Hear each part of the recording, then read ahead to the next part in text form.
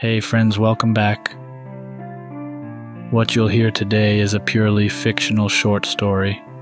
It does contain some violent content, so you've been warned. I hope you like it.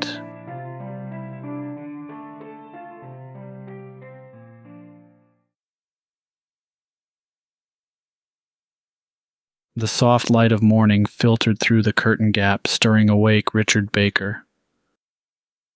A fragment of a dream, a shadowy sequence of feelings and images clung to the recesses of his mind.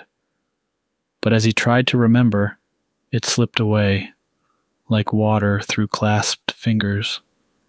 He reached over to the empty side of the bed, expecting nothing and finding exactly that an old habit Lazily, he began to think about Melanie, the woman from accounting, with hair the color of a raven's wing and a laugh that felt like a summer breeze. Should I ask her out? Richard mused. She probably doesn't even know I exist. Still, the idea of it tickled him. It was a sweet thought to start his day. Slipping on his work attire, Richard distractedly combed his hair thoughts dancing between Melanie and the ache left by his mother's recent passing, a void he hadn't yet learned to fill. Shaking his head, he tried to shake off the melancholy. One thing at a time, he whispered to himself. Exiting his quaint townhouse, Richard was immediately greeted by a screech. Two cars zoomed past, barely avoiding a collision. Both drivers, faces twisted in fury, laid on their horns. For a split second, Richard thought he recognized one of the drivers, but the face was gone before he could place it. Such vehemence was unusual for Hammond Creek. He wondered what could have occurred to so enrage these individuals. With the disturbing sight of the driver's enraged sneer still fresh in his mind, Richard began his walk to work. Mr. Collins, a neighbor Richard had known for years, approached. He'd always been a friendly face, someone to share a quick chat with. But today Collins's eyes were dark. As they drew level, Collins spat, the saliva landing ominously close to Richard's shoe. No words, no greeting, just that unsettling gesture. Richard quickened his pace, heart pounding. What the hell was that? He tried to shrug it off as a bad morning for Collins, but something nagged at him. The walk to work was no less disturbing. He saw a mother scream at her crying child, people pushing and shoving without reason. A group of teenagers laughed maniacally, throwing rocks at a stray cat. There was an atmosphere of simmering violence, an undercurrent of madness. Am I losing my mind? He arrived at his office building, a tall glass structure. The familiarity of its entrance was comforting. But as he entered, it became clear something was off. The receptionist, Mrs. Henderson, who usually greeted him with a warm smile, looked up with bloodshot eyes and growled. What do you want? she snapped, not waiting for an answer before burying her face in a magazine. Confused, Richard made his way to his floor. Only a few colleagues were present, scattered across the open space. Some whispered furiously, others typed away with a ferocity Richard hadn't seen before. And then Melanie, sitting at her desk, engrossed in some report.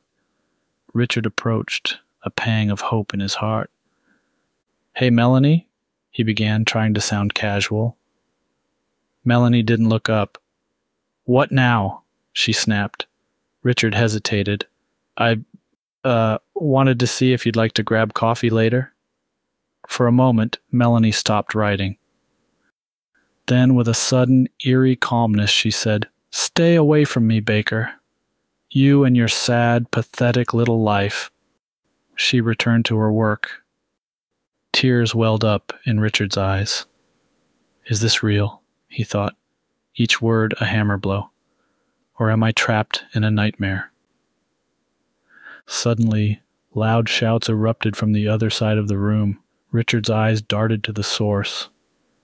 Paul, a usually mild mannered colleague who often brought homemade cookies to the office, was shouting obscenities, his face contorted in rage. Oh my god, he's bleeding.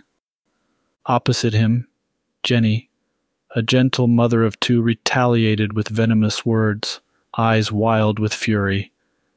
They circled each other, snarling, every word dripping with venom. Is she holding a knife? Horrified, Richard recognized the danger he was in. The office wasn't safe. Nowhere was. This is wrong. All wrong. His thoughts flitted between the horror around him and memories of his mother, her warmth and guidance. What would she advise me to do now? Without thinking, he dashed into the nearest restroom, locking himself in. The walls felt like they were closing in. Panting, he sank to the floor, hugging his knees. The sounds of the outside chaos faded into a distant hum, replaced by his frantic thoughts. What is happening? What happened to the others? Amidst the terror, a memory surfaced of his mother reading him a story about alternate realities, of worlds that were the same yet oh so different. Heart pounding, he tried to remember how the protagonist had navigated that world, but the memory eluded him. All he knew was that he had to wait, to hope that this nightmare would end. But until then, the bathroom stall was his sanctuary the only barrier between him and the madness beyond.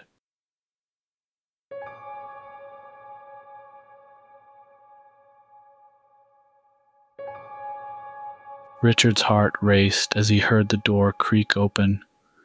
Light footsteps echoed, the hollow sound betraying the presence of someone new. He quickly, albeit silently, clambered atop the toilet bowl, drawing his feet out of sight Richard? A voice, soft and almost musical, penetrated the quiet. Melanie. Richard, I'm. I'm so sorry. Richard's pulse quickened. The words felt off kilter, like a song played out of tune. He remained silent, hoping against hope that she'd leave, but she didn't. The tenderness in Melanie's voice vanished, replaced by a sharp, biting tone. Come out, coward, or are you just going to hide in there like a pathetic rat? Her voice was unrecognizable, laced with a vitriol he had never imagined she could harbor. Panic gripped him. What had happened to the world? You think I don't know about your little crush? You sulk around like a sick puppy, she spat. The words were sharp, cutting through the air with a venomous intensity. Your dead mother would be so ashamed, so ashamed. His breath caught. How could she know? He'd never spoken to Melanie about his mother. The wound was too fresh, the pain too raw. Melanie's voice grew darker, her words dropping like lead weights. Get out, Richard! You pathetic loser! He could see her shadow beneath the stall door, pacing back and forth like a trapped animal. The thought of facing her, Facing this twisted version of her made him nauseous. Desperation clawed at Richard. Stifling a gasp, he slowly lowered himself onto the cold tile, readying to crawl to the adjacent stall. His eyes darted from one side to the other, searching for an escape. He saw the furthest stall by the door. It was his best shot. One stall at a time, he thought desperately. Every little sound, the soft rustle of his shirt against the floor, the faintest creak of a tile, threatened to betray him. The space between the stalls seemed vast, like a gulf he needed to traverse, and with each movement he felt like he was crawling through a minefield.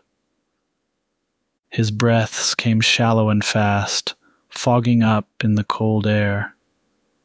He dared not look up but the familiar sound of Melanie's heels echoing on the bathroom floor kept him painfully aware of her presence. With every inch he moved, he pictured those shoes, imagined them stopping outside his stall. Suddenly, her pacing ceased. Silence thickened in the restroom, and Richard felt time slow to a crawl. The stillness was shattered by the violent thud of Melanie's fists against the stall door he had just vacated. Each bang was a thunderclap, jarring him to his core. Why are you hiding, Richard? Melanie's voice was filled with venom, each word dripping with contempt. You think a flimsy door will save you? Protect you? He could imagine her eyes, once warm and inviting, now cold and predatory, scanning the gaps beneath the stalls, hunting for him. Another bang, and he could feel the partition shake slightly. She's going to find me. Richard's thoughts raced, filled with fragments of memories images of his mother, her soothing voice, the smell of her cooking, the lullabies she once sang. If she were here, would she tell him to fight or to run? Determination coursed through him. He had to escape. This wasn't his world. These weren't the people he knew. With one final push, he scrambled beneath the next stall, pressing himself against its far wall, praying he'd be overlooked. The banging continued, growing more frantic.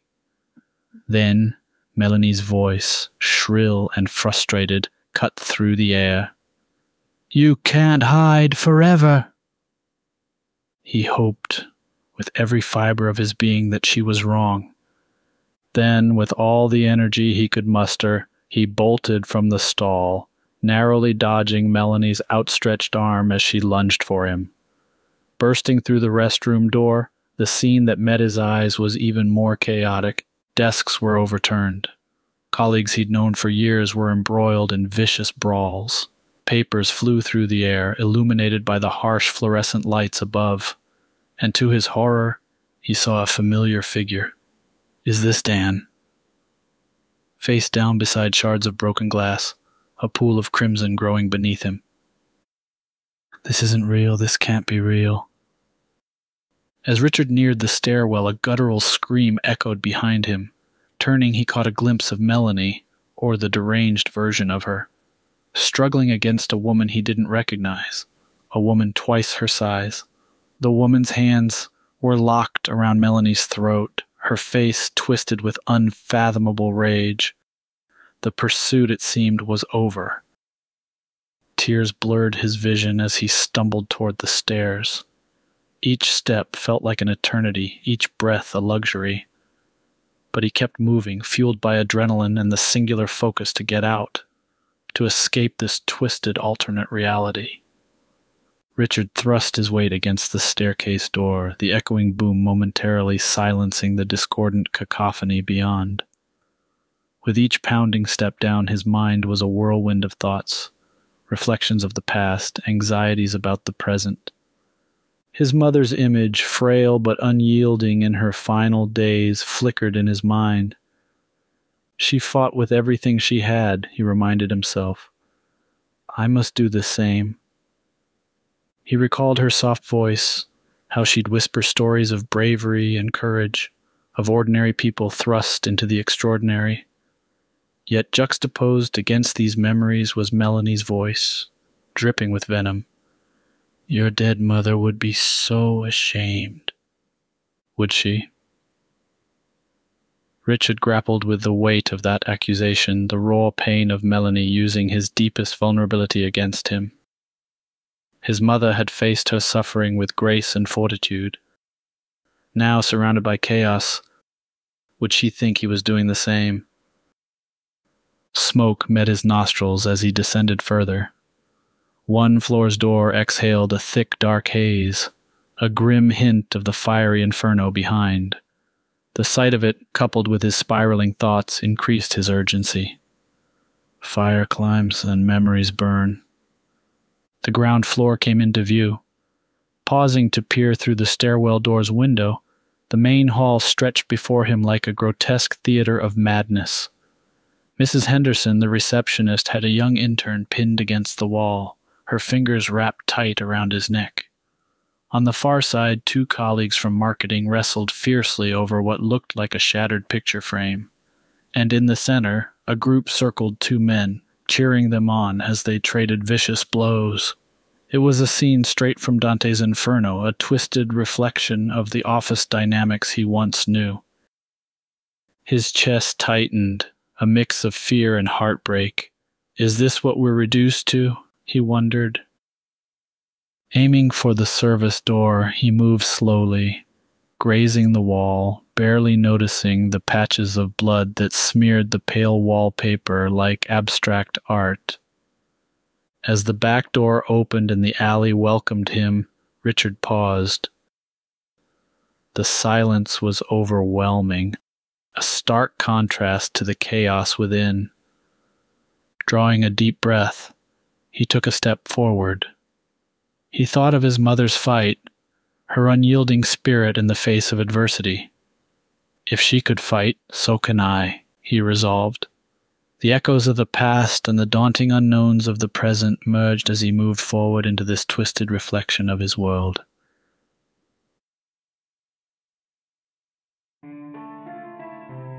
Thank you for listening to the end. If you liked it, hit the like button and subscribe. That would be so nice. Thank you.